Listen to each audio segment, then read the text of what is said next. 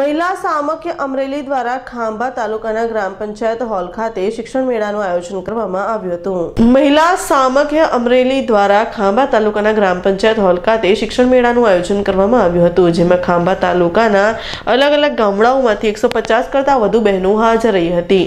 આ શિક્ષણ મેળામાં મહેમાન તરીકે મહિલા Samakhya in-charge DPC Ilaben Goswami, TRP, Priyadarshini ben Parmar, ICDS વિભાગમાંથી સીડીપીઓ લતાબેન ભટ્ટ, ખેતી વિભાગમાંથી હાર્દિકભાઈ મોઢવાડિયા એસવીઆઈપી પ્રોજેક્ટમાંથી હસમુખભાઈ શિયાળ, ખાંભા ગ્રામ પંચાયત સરપંચ શ્રી અમરીશભાઈ હાજર રહી, કાર્યક્રમને અનુરૂપ વક્તવ્ય પૂરું પાડ્યું હતું.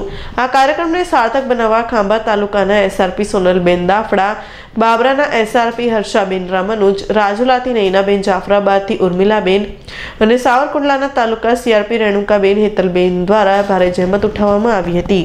મહિલા સમક્ષ અમરેલી અંતર્ગત આજે ખાંભા તાલુકાના ગ્રામ પંચાયતના હોલમાં એક શિક્ષણનો કાર્યક્રમનું આયોજન કરવામાં આવે જેમાં એકસો પચાસથી એકસો એંસી બહેનો જેટલી હાજર રહી. આ કાર્યક્રમમાં ખાંભા તાલુકાના જે અંતરિયાળ ગામડા છે, ત્યાંની સત્તર ગામની બહેનો હાજર રહી. અહીંયા ખાંભા તાલુકામાં અમે જે ઇંગોરાળા ગામમાં મહિલા સામખ્ય દ્વારા જાગૃતિ સેન્ટરની શરૂઆત કરવામાં આવેલી છે. એને પ્રોત્સાહન આપવા માટે આજના કાર્યક્રમનું આયોજન કરવામાં આવે એમાં જાગૃતિ સેન્ટરમાં અમારી બહેનો ત્રીસથી પાંત્રીસ બહેનો દરરોજ અગિયાર વાગ્યાથી ચાર વાગ્યા સુધી હાજર રહી અને શિક્ષણ મેળવે છે.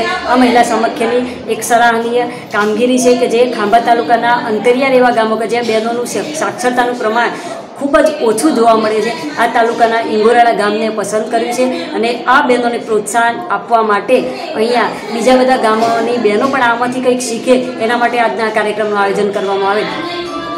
અશોક મણવરનો રિપોર્ટ અમરેલી.